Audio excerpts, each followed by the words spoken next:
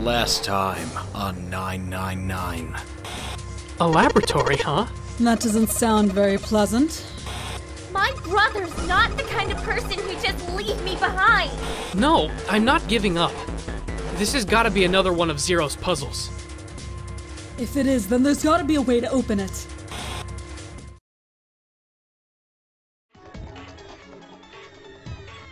Junpei, thank you so much for everything. Whoa, what's this all about? And and also, I'm sorry I messed up. Hey, we can talk about this when we get you out, okay? Just hang on, Clover. I'm gonna get you out of there right away. Yay! I think this is the first time I've actually seen a genuine smile out of this chick.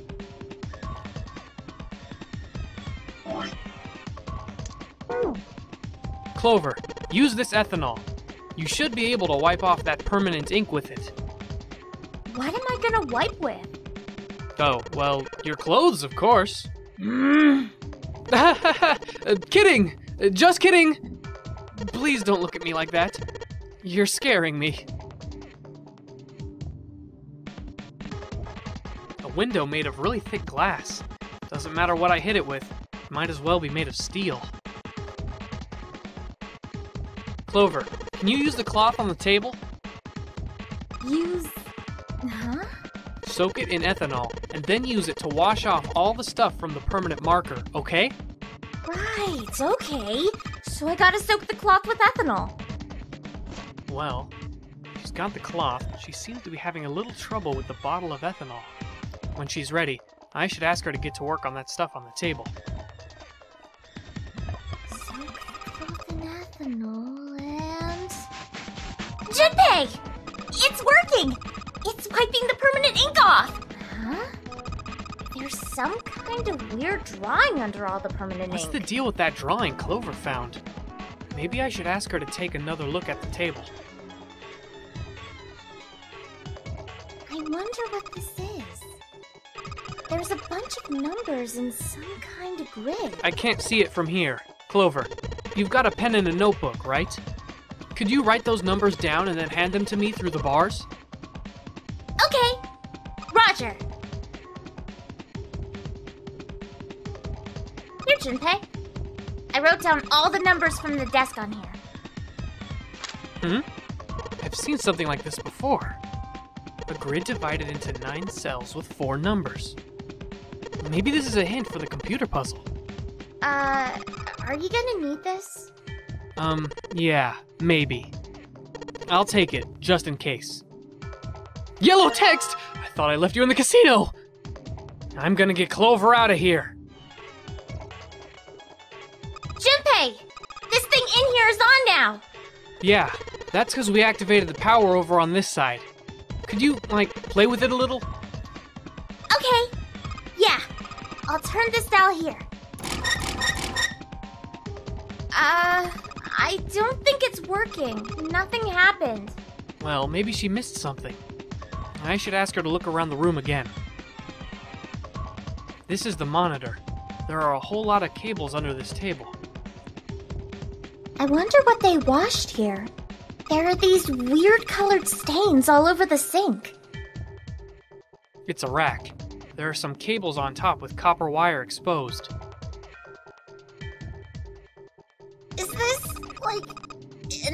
Examination table? There's a creepy mannequin in here, guys. I guess this drain is for water, huh? Well, there's nothing here. Maybe if you increase the voltage? Nothing could go wrong with that. Roger, will do. Okay, I'm gonna go all the way to max voltage. M- max voltage? Hey! Wait, Clover! Aw, shit.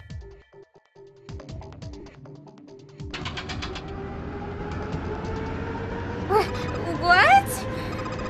Um, I think. Uh.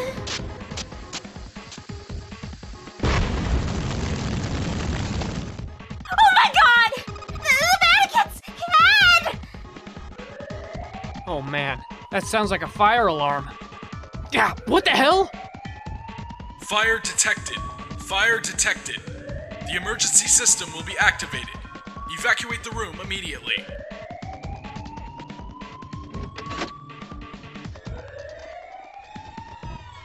The control device for the electronic door lock. The green light is on.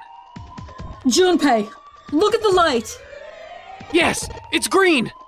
The emergency system has activated and disabled the lock. Now we can save Clover. Junpei! Come on, kid, jump! She's safe. Oh man, that smoke is some serious business. Time to close this door again, I think. Clover, are you okay? Are you hurt? Damn, she's coughing so hard she can't even talk. Of course I'm not alright! What the hell took you so long, you big jerk? I was almost dead! Sorry. I was going as fast as I could. You two can do this later. Right now, we need to get the hell out of here. That fire's not going to stay in that room forever.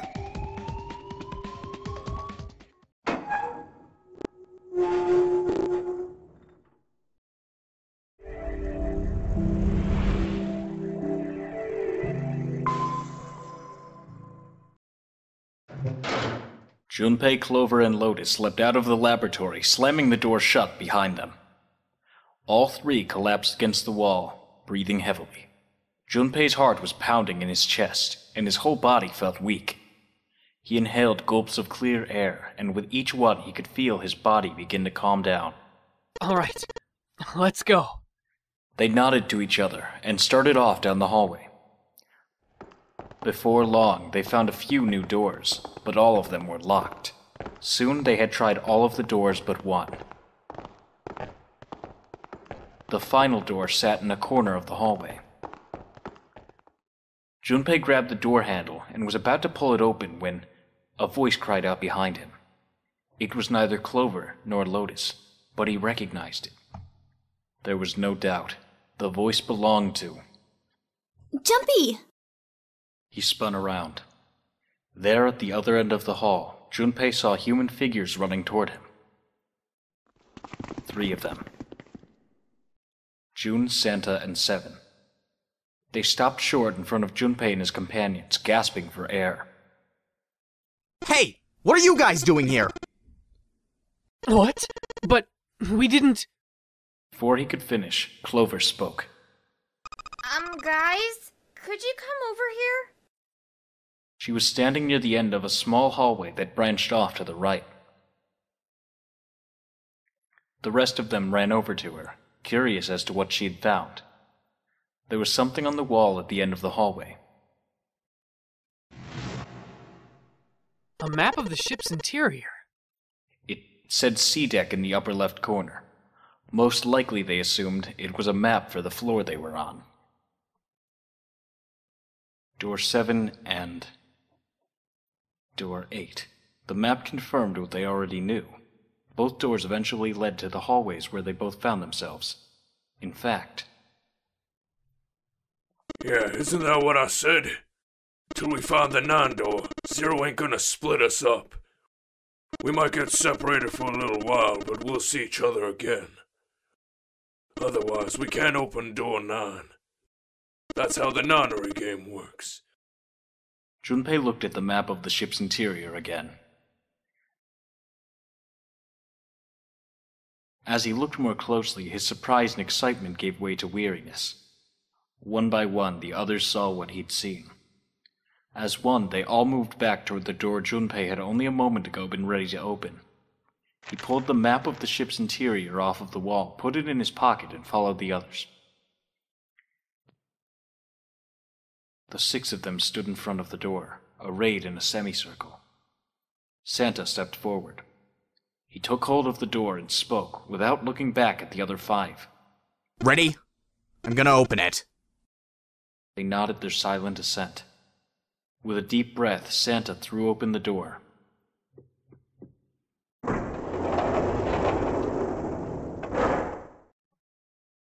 They poured through the doorway and into the room. Even without looking around, each one of them knew where they were. They were just where the map had said they would be. The same room they'd been in not so very long ago the tremendous central hospital room with empty beds from wall to wall.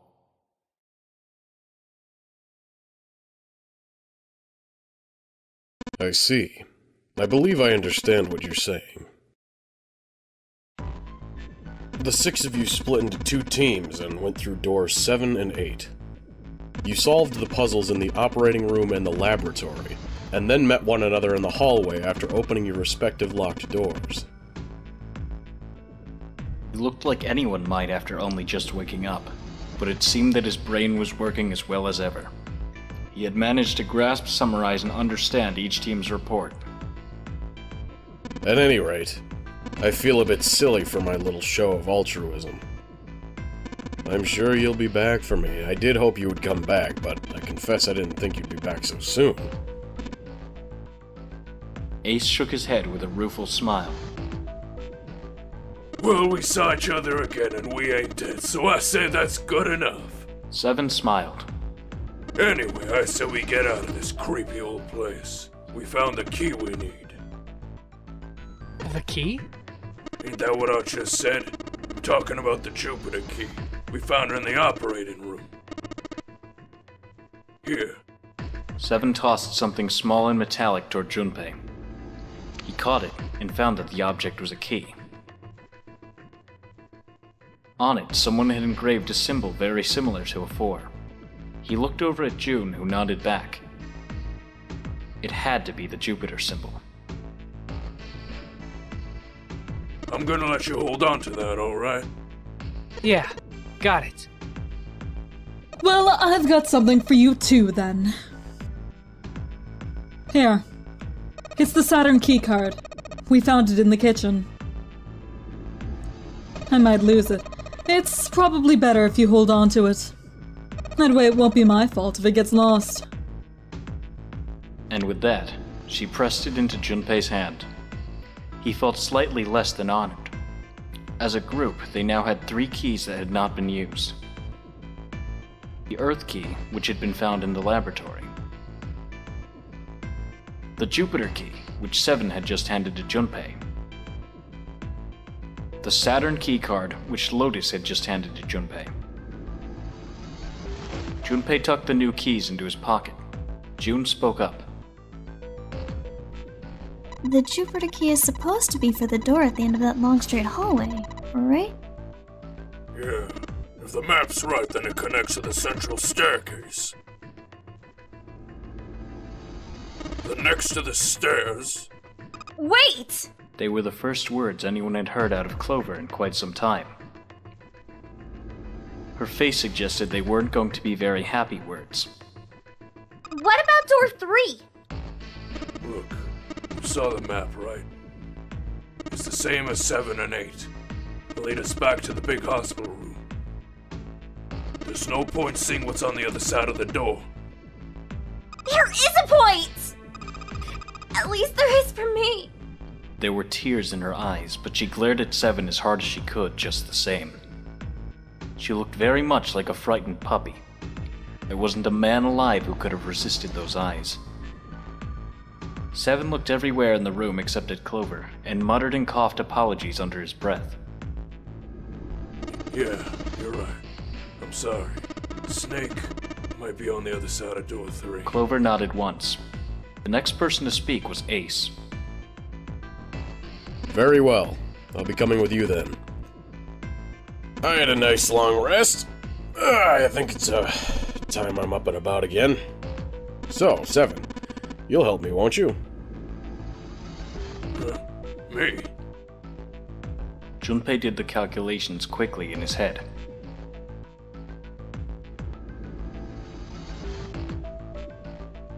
It looked like Seven was doing them too. At last, he gave up. Well, I guess that's how it's gonna be. So I'm going with you, huh? Yes, you are. Alright, let's get moving. And so it was decided that Clover, Ace, and Seven would discover what lay beyond Door 3. Okay, we're heading out. Be careful. Whoa, didn't think I'd be hearing that from you, Lotus. Don't let it go to your head. I'd be in trouble if the three of you bought it. The rest of us can't open the nine door. Ah, the truth comes out. Seven nodded as if this answer made much more sense and pulled the lever on the red.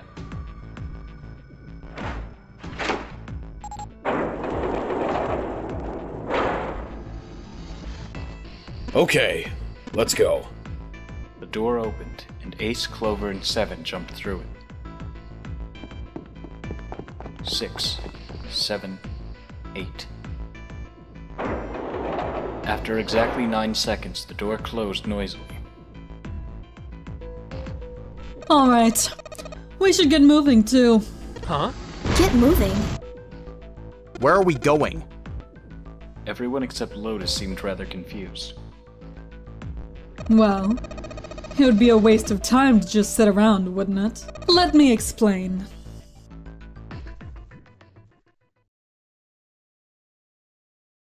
I get it.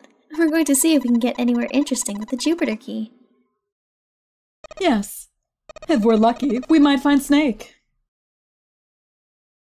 They were at the end of the hallway lined by individual hospital rooms. The Jupiter symbol was engraved on the keyhole.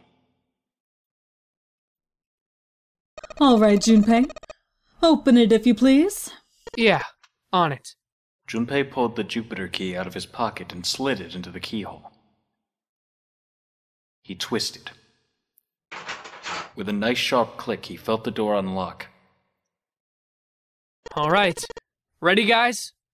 Junpei's companions nodded. He nodded back, then slowly and quietly opened the door.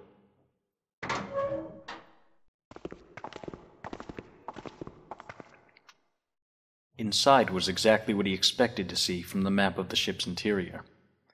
They were in a tremendous hall, almost like a ballroom, with a massive central staircase. Great. Back at the beginning. You sure this is a good idea? What do you mean? Well, we already searched every inch of this room, didn't we? I'm asking you if there's any reason we came back here. Of course there's a reason. Man, sometimes I can't tell if you're smart or just lucky. Huh? This. Junpei pulled two things out of his pockets the Saturn key card and the Earth key.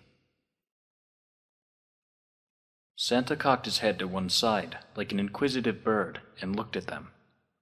After several long moments, during which it became apparent that Santa had no idea what the cards meant, June took pity on him. Don't you remember, Santa? On C deck, where we are now, there was a big elevator behind the stairs. Remember? And next to the elevator, there was a card reader with the Saturn symbol on it.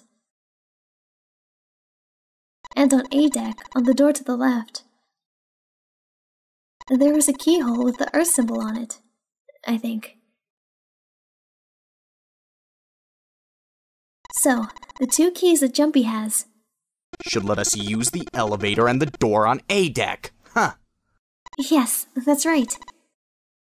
June smiled, pleased with herself. So did Santa.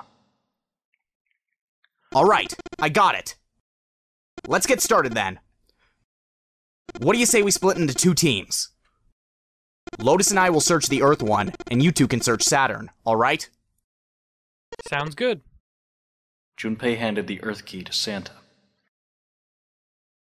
They decided that their initial search should be brief, only ten minutes.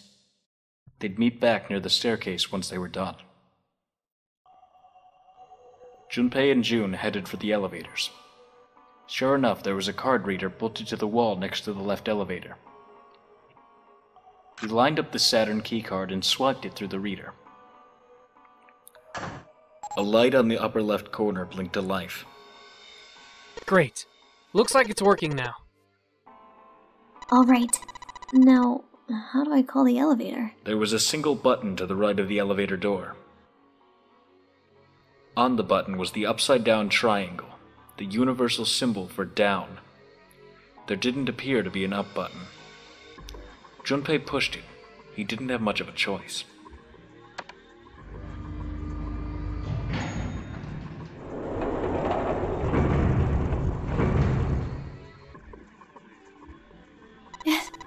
It opened! Look, Jumpy! June's voice was excited, but Junpei could hear a tinge of anxiety. Sweet, it opened. Let's get going. He grinned at June and stepped toward the open door. As he was about to set foot in it, he felt a hand on his arm. Wait! What? Uh, I'm not really.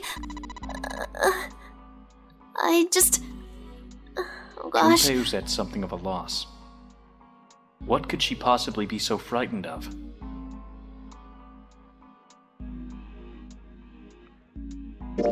After a little thought, Junpei decided that she had to be nervous about being locked up in such a small space alone with a boy. In a way, it was kinda cute. Very demure, you could say, he thought. Still, even though it wasn't exactly roomy in the elevator, they weren't going to be pressed up against one another. At least, they didn't have to be. Still, it was making her nervous. Junpei couldn't help but think how innocent she was. Come on, let's go. Again, he stepped toward the elevator. And again, he felt himself restrained. I said, wait a minute! Why? Aren't you afraid, Jumpy? Afraid of what? Well, I've never. You know. Never been in an elevator with a man alone before? Even so, she still seemed awfully alarmed. I might get wet. What? Down there. I'd get soaking wet. Well, I mean, of course you would. That's the way it works. I mean, I've never heard of anyone getting soaking wet somewhere else. That's. That's true. You don't mind Mind what? getting wet? W- Well, I don't know. I, I think I'd probably, you know, uh, like it. Gosh, Jumpy, you're so brave! Really? I mean, I kind of think any guy would do the same thing, you know? What happens, happens, right? If you get the chance, you've just gotta go for it. That's what a man's supposed to do, I guess. You're so cool, Jumpy. I really admire you. Uh, that doesn't really seem like the sort of thing you ought to admire someone for. I'm. I'm really scared. Yeah. I mean, like you said, you've never done it before. Y- yes. So, I don't think I'll be able to last very long. And then it'll be. Uh, over? Yes. I'll go to heaven. Heaven? It kind of feels like you're floating in space. And your mind gets all fuzzy, like when you pass out. At least, that's what I've heard from people who have experienced it. Uh, ah, yes. I've heard that too. Although, I don't think the same thing happens to guys. What? Huh? But it would happen to men too, wouldn't it? It would happen to anyone. Once it gets into your body, the same thing happens to everyone. Well, I mean, usually it doesn't go inside the man. I mean, generally. Yes, it does. Well, eventually it will. It's not like you really have a choice. Your body will force you to swallow some of it eventually. What are you trying to do to me? Nothing. I'm not going to do anything to you.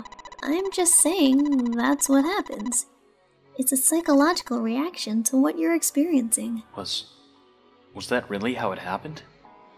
It occurred to Junpei that perhaps that was how it worked. Perhaps he'd been mistaken all these years. Had he misunderstood life so gravely? The thought terrified him. June seemed to be entirely oblivious to Junpei's mounting confusion and terror. I know most men probably have larger lungs, but even then, I don't think you could hold your breath for 20 or even 10 minutes. Eventually, you'd have to breathe, and then the water would get into your lungs. Once that happens, your body won't be able to get oxygen anymore, and you'll start to feel that floaty feeling as you pass out.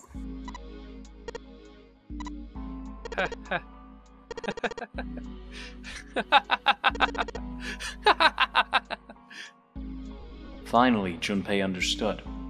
He understood what June was trying to say and why she was so scared. Yeah, you're right. You wouldn't last very long.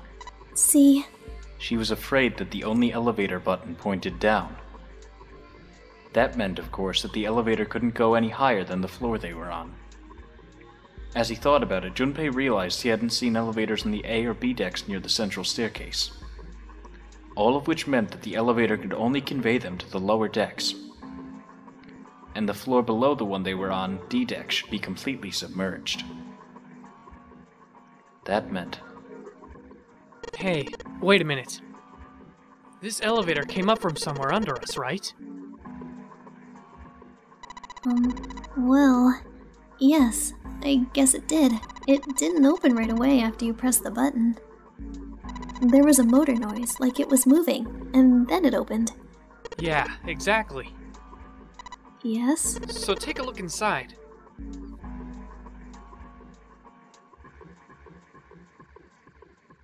It's not wet at all, is it? The walls and even the floor are totally dry. Oh, you're right. They are. She looked around the elevator, slightly embarrassed. Well, let's test it. Test it. Yeah, watch this. Junpei put one foot in the elevator and bent around the corner of the door until he could see the floor buttons. There were only two E and C. He pushed the E button and jumped out of the elevator. The door slid shut and they heard the grinding of the motor as the elevator car moved down.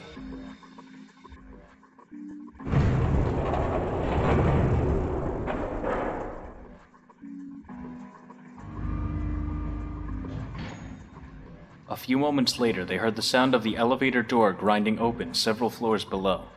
Junpei nodded to June and pressed the elevator button again. A few moments later, the elevator returned.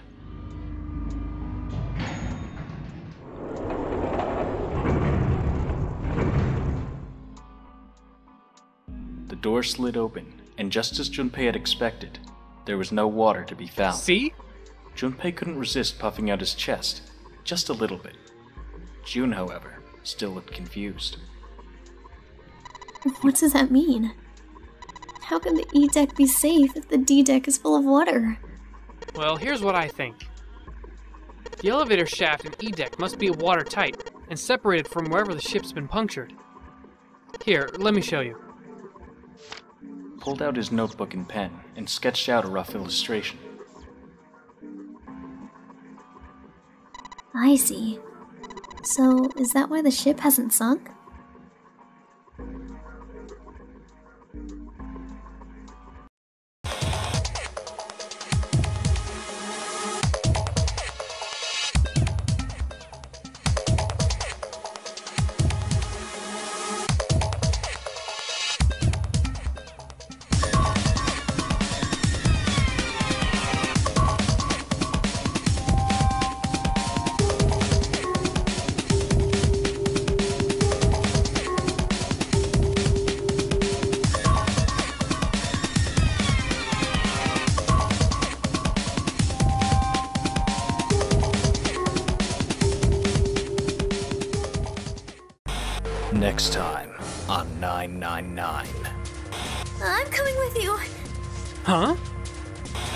Means Zero planned all this out, even the sinking.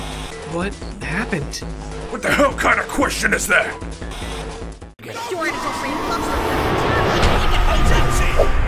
Let's Step Project.